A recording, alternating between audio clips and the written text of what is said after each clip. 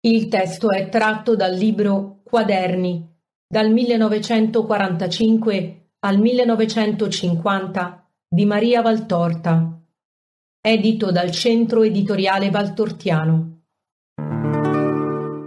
4 novembre 1947 Dico a Gesù, ripensando a quei dettati sul peccato originale, che egli ha voluto annessi all'opera, Ora faranno nuove obiezioni e mi tormenteranno ancora. E ho paura. Mi risponde Gesù. L'opera è più per i maestri che per le folle.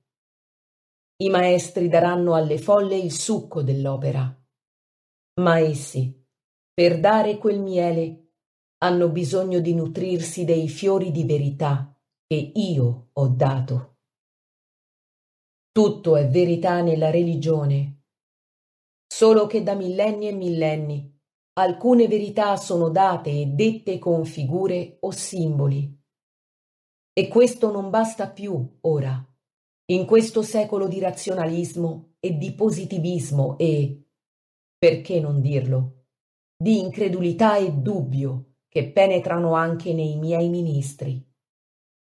Non basta più la favoletta del pomo, così come è detta, non persuade, non è accettata, non dà aumenti di fede, ma anzi indebolisce la fede sulla verità della colpa d'origine e perciò sulla verità della mia venuta per redimere la colpa d'origine e perciò sulla mia predicazione perché ero maestro fra le folle e perciò sull'istituzione divina della Chiesa e perciò sulla verità dei sacramenti.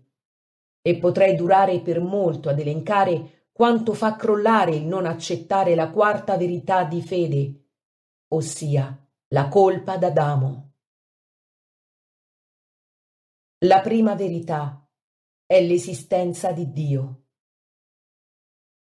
La seconda, la ribellione di Lucifero, e perciò la libera trasformazione dell'arcangelo nel demonio, in Satan, e perciò dello spirito del male e delle tenebre, opposto allo spirito del bene e della luce. La terza, la creazione. La quarta, la colpa di Adamo, anteveduta nella sua divina conseguenza da Lucifero, che divenne Satan, per non adorare me, Gesù Cristo, figlio di Dio, redentore dell'uomo, suo avversario e vincitore. La favoletta del pomo non basta più alle folle di oggi e soprattutto ai maestri di oggi, i quali la insegnano male perché il loro pensiero non la può accogliere più. Alla sottile, metodica erosione e corrosione del razionalismo e altre tendenze dell'oggi, si opponga una aperta, schietta, plausibile, credibile, dignitosa, come si conviene a cosa che ha rapporto con Dio, che è prova messa da Dio ai suoi creati. Versione, l'unica sincera, reale versione del primo peccato e crederanno di più i maestri e sapranno far credere di più i fedeli.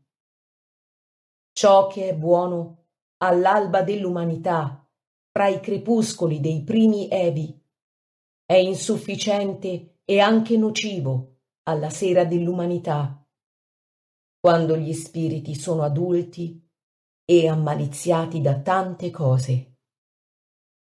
Diamo luce diamo luce, che nella luce è vita.